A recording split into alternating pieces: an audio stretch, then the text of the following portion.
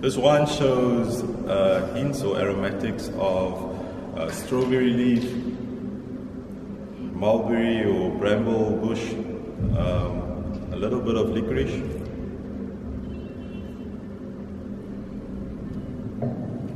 And there's a really nice balance of tannins and flavor on the palate.